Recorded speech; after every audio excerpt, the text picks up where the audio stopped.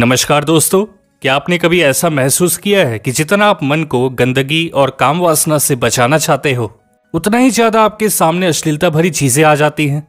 उदाहरण के लिए आपने कोई टीवी खोला और एकदम से कोई अश्लील विज्ञापन सामने आ गया और मन में गंदे विचार आने लगे। ठीक ऐसा ही होता है उन लोगों के साथ जो सिर्फ़ नो फैप करके अपने धातु को बचाने की कोशिश करते हैं। लेकिन जब आप ब्रह्मचर्य को अपनाओगे, तब आप काम वासना से भागने तक की इच्छा को छोड़ दोगे।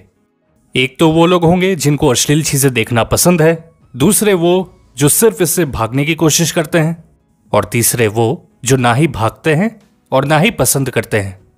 एक सच्चा योगी और ब्रह्मचारी वही है जो पसंद नापसंद से ऊपर उठे। और देखो ठीक ऐसी ही अवस्था चाहिए होती है ध्यान के लिए।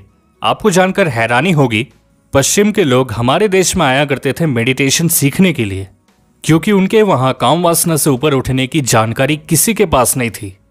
इसका जीता जाता उदाहरण है कि अभी भी वहाँ के लोग नो फैप में ही रुके हुए हैं, और जब तक ब्रह्मचर्य नहीं आता काम वासना से ऊपर नहीं उठा जा सकता। आप में से बहुत सारे लोगों ने पूछा था, क्या एक साल ब्रह्मचर्य और एक साल नो फैप के फ़ायदे बराबर होंगे या नहीं? तो उनको हम बता दें, ज़मीन आसमान का अंतर है फायदों में, क्योंकि जब हमने ब्रह्मचर्य पालन करने और नो फैप वालों के ऊपर स्टडी किया और जो नतीजा आया सामने, उसे ध्यान से सुनिएगा। एक विदेशी बंदे ने तीन सौ पैंसठ दिन तक बस अपनी ऊर्जा को बचाया और उसके स्त्री को देखने का नज़रिया पहले जैसा ही था। लेकिन एक साल ब्रह्मचर्य वाला इंसान पराई स्त्री को बहन या माँ समान मानने लगा। नो फैप वाला अभी भी बुरी संगति में जीता है, उल्टी सीधी जगहों पर जाता है। ऐसा समझ लीजिए कभी भी वो बिखर जाएगा। लेकिन एक साल ब्रह्मचर्य के बाद एक इंसान सिर्फ़ अपने को ही नहीं, बल्कि दूसरे को भी संभाल सकता है। नोफैप करते हुए, मन ही उसका मालिक है, और वो गुलाम।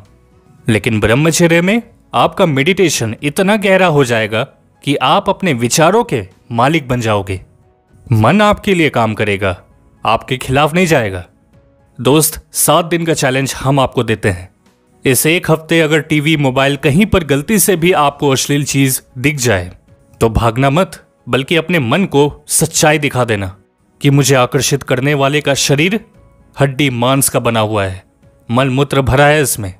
हज़ारों सालों में कितने आए आकर्षण करने वाले, कितने गए, खत्म हो गए सबके सब। मुझे आकर्षित करने वाले के शरीर के साथ भी ऐसा ही होगा, कोई स्पेशल नहीं है वो। उनका देह भी सड़ जाएगा, मिट्टी में मिल जाएगा।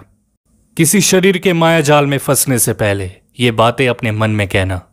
और अगर याद ना रहे तो ये वीडियो दोबारा से देख लेना। अगर आप इस चैलेंज के लिए तैयार हैं तो कमेंट करें। अगर आपने ठीक ऐसा ही किया तो सात दिन बाद आपके जीवन में एक विशेष बदलाव आता दिखेगा। ज़िंदगी को देखने का नज़रिया बदलेगा। आपके अंदर का ब्रह्मचारी और वीरवान व्यक्ति जाग उठेगा। दोस्तों टेलीग्राम का लिंक इसी वीडियो के डिस्क्रिप्शन में है। द एलुमिनाटी शो नाम से ही है। टेलीग्राम पे सर्च करने से भी आपको मिल जाएगा। हमारे साथ जुड़िए। पूरा साल ब्रह्मचर्य का पालन करेंगे।